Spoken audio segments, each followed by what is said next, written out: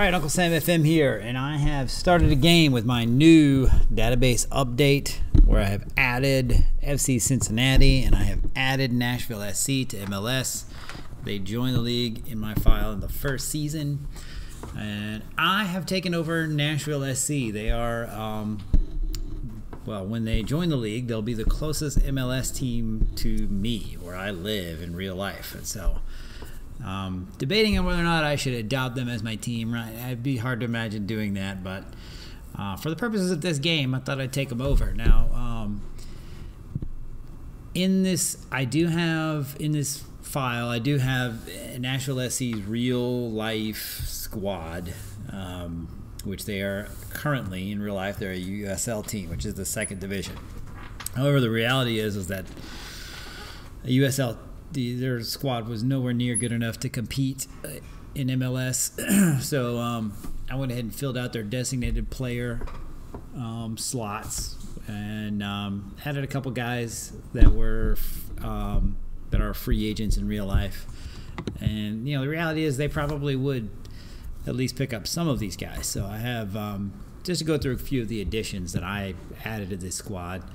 Um, Kosuke Kimura was a fullback. Um, he plays mostly on the left, actually, but I have him on the right. Um, and then I also went and got Chris Klute, who is a again, he's kind. Of, I think he plays kind of left back. I have him on the left. Um, and then my DP spots, DP players, I got Alex Song, who was a free agent in. I don't know if he is still in real life, but uh, I went ahead and signed him. He's Cameroonian, 29. Um, Max Meyer from Germany. Um, I think he actually in real life joined the squad, but at the beginning of my game, he was a free agent. So I went ahead and added him. Um, he'll play in center mid, and then Bruno Mota, uh, another guy who was a free agent at the beginning of my file. So I got signed him on as a young designated player. So um, I also went and got uh, Samir Nasri, who is a um, oh, I, sorry, Bruno Mota is not a DP. Sorry, but he is. He does have one of the larger salaries you can have in MLS um, without being a DP. And then it got Samir Nasri, who last I saw was still available. Um, he had that um, ban for doping, but in this game, whatever update I have, the ban is not there. So. Um, so those are the DP guys. I also got Dilly Duka, who uh, was a, a American free agent. Um, and went and signed. Well, Kenwyne Jones was a Trinidad, uh, Trinibagian. How do you pronounce it? Trin, Trinbagonian uh, from Trinidad and Tobago. He actually, I think, retired after last season, but um, yeah, I think he's set to retire this year. Let's see if his yeah. So he retires at the end of this season. But um, when I added him, so I've got him, and then I got one got Charlie Davies, who is a if you're an American, you'll remember him. He uh, was a I think he scored a goal against Spain. It's either against Spain or against Brazil in the um, our Gold Cup run in 2000, not Gold Cup, Confederations Cup run in 2009. Then he broke his leg. Um, was out at 3 a.m. Got drunk, somebody was driving and broke his leg, and so he never really got back to full form. But he was available, so I added him to the squad, um, and then started the game. And the pretty, pretty obviously, I'm really weak along the back, which I'm pretty used to. Usually they start with the Dynamo, Houston Dynamo, and they don't have much in the back either. So, um, so I went and added um, Jackson from on loan from Manchester United. He um, not great. You know, he's he's okay. He's a decent MLS defender. Probably, well, he's you know he's a quality MLS defender. Um, big thing is his, his, determination is pretty poor. So, um, but I was desperate, and they were willing to loan him. So I brought him in. He'll for this season he'll at least start. And the reality is, is that pretty much I don't want any of these guys long term. There's nobody on this squad that I want long term. Um, Nasri, he's, he's in his upper 20s. So, yeah, well, I'll, Meyer and Mota I'll hang on to as long as I can, right? They're both young. But um, everybody else is either in their 30s, nearing their 30s, or they're never, ever going to be good. So, Um, so it'll be a pretty much an entire rebuilding project. But I have begun my preseason. Uh, as you can tell, my I went on a tour of Colombia, I think, um, and that did not go well. I um, got killed in my second game, and then but I did end it well with a win over Tunja, uh, five to zero. Dominated that one. Team started to finally get this our tactic down. Um, hit a, you know hit some decent form. You know had some decent results. Um, now I'm and I'm getting ready to play the final game of our preseason tournament, the Simple Invitational. Uh, I actually am in position to win it. I'm getting ready to play Portland. Portland has won their first two games, uh, so they have maximum points. I have a win and a draw, and so I'm at four, and we are getting ready to play Portland. So I have to win. It's got to be a win.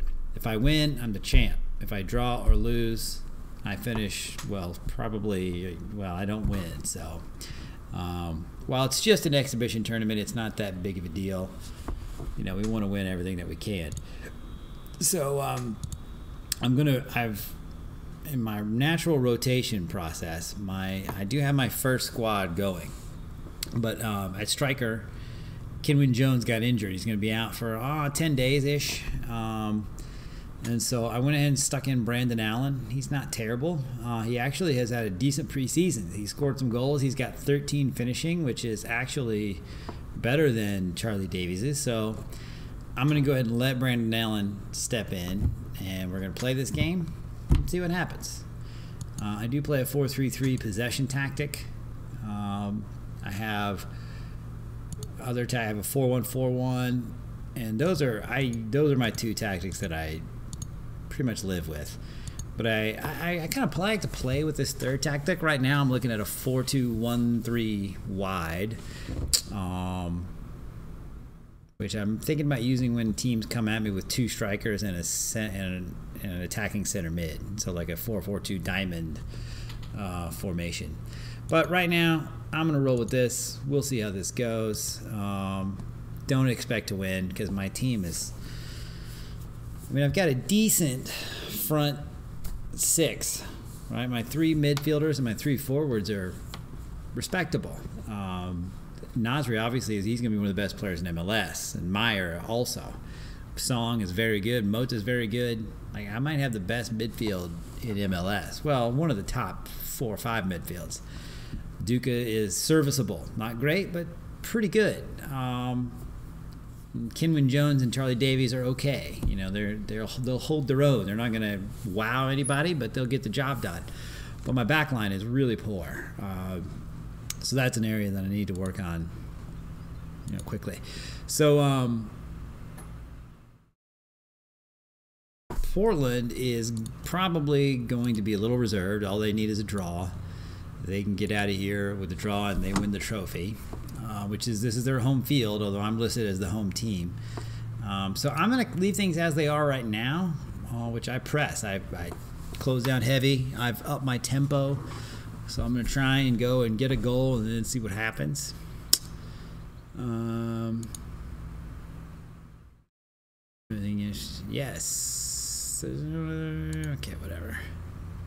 Pick the team that feels like my players can adapt to any situation. So here we go.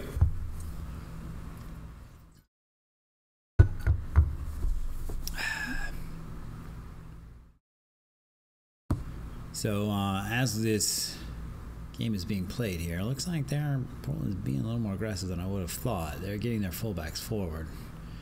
Crossing the box, Pickens picks it out. So let's get going here. So right now, uh, this I'm playing this game right after England finished the group stage. They lost to Belgium today of the World Cup.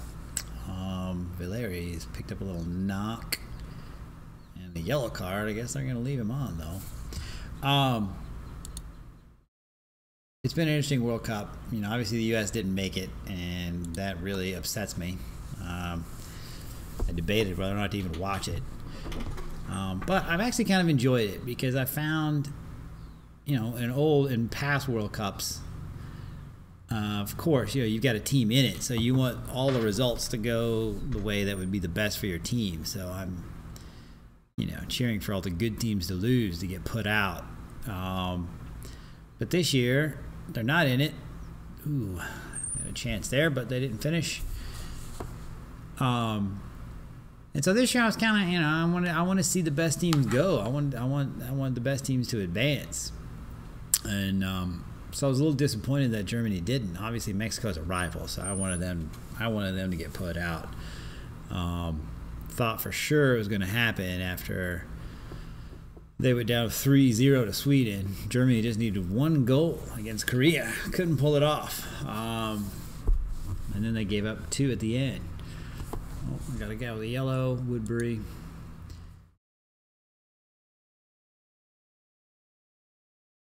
But it has been exciting. Spain had to fight, claw and scrape just to advance.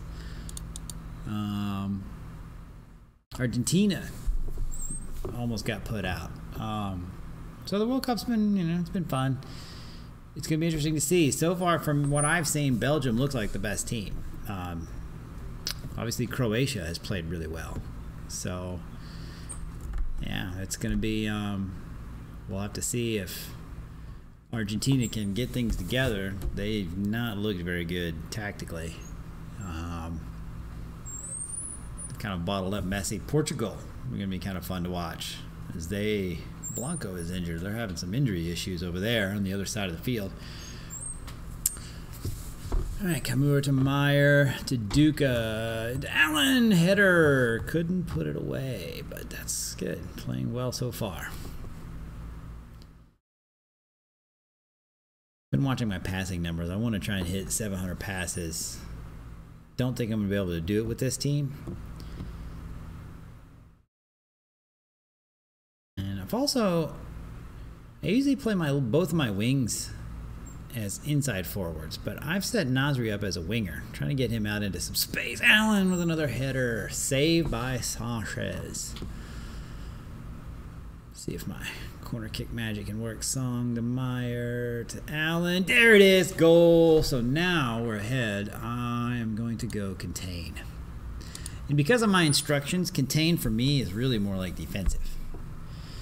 Let's see. Meyer lays it off to Allen. Allen.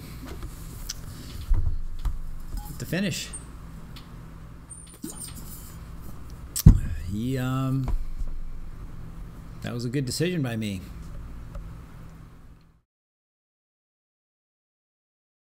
All right, so one nothing. We are we are close to winning our first ever competition. This will be the first ever competition victory, first trophy for Nashville SC. Pretty sure at all. No matter what level. They started, just a little history about Nashville FC as we begin the second half here. Um, after the Nashville Metros, which was a PDL franchise, which is like the fourth level on the American pyramid, they folded. and so some guys got together and, and they wanted to start a club and pattern it after Barcelona in that they wanted to be a fan owned club. So they started Nashville FC. And it started as an NPSL team, the National Premier Soccer League team, which I have in this file. Um, there was a shot that was wide. So they competed in um, competed in NPSL for a couple seasons.